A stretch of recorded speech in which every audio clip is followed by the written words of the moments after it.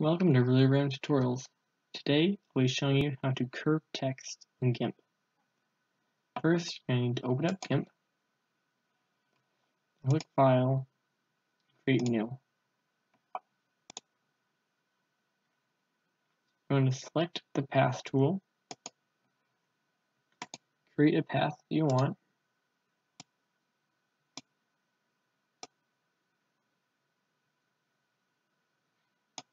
Once you've created a path, can go to the text,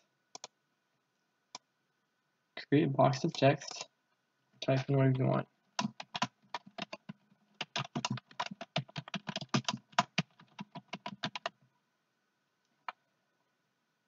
If you want your text to be centered, make sure you have the justify on centered. Then you're going to right click the text box click text along path, and then you'll have a preview of where the text is going to be. And to go over to your text and hide it, you can go to path, which is right here. You're going to right click on the text and click path to selection.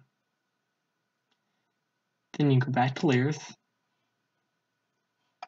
create a new layer,